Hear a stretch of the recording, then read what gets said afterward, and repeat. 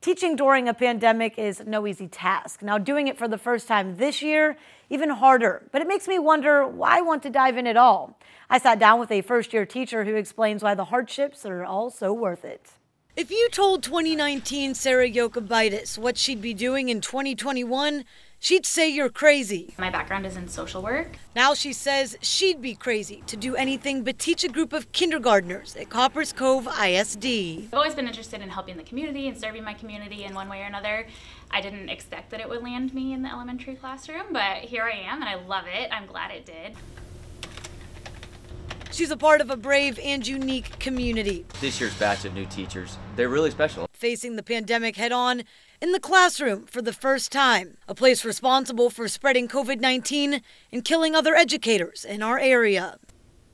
I like to think not. I try not to think about it, but um, it is reality. I mean, it's yeah, it's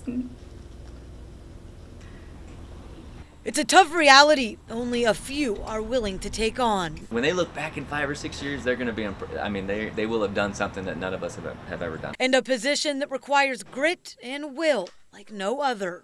We're going to do this with innovation and a, with an unrelenting desire to, to help the kids in every way possible.